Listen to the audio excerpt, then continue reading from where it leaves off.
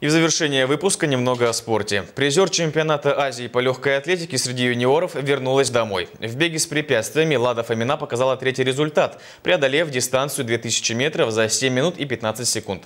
В чем секрет победы спортсменки, узнал Арман Бенде.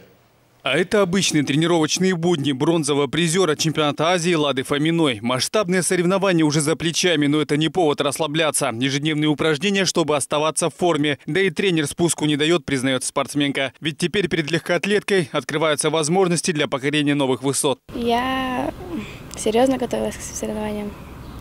Тяжело было, долго готовились. На сборы ездили.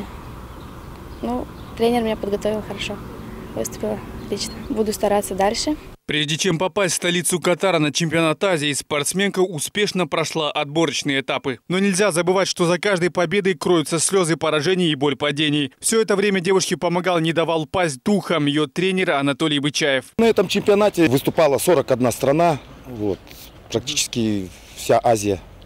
Дальше, как говорится, соревнования были очень, ну, в таких сложных условиях, то есть было очень жарко. То есть это 42 градуса тепла. Одна из наших спортсменок, которая, по сути дела, сейчас выполнила норматив на чемпионат мира. Теперь Ладе предстоит защищать честь Казахстана на чемпионате мира, который пройдет в Колумбии в июле. Арман Байнде, Владимир Боровков, Новости МТК.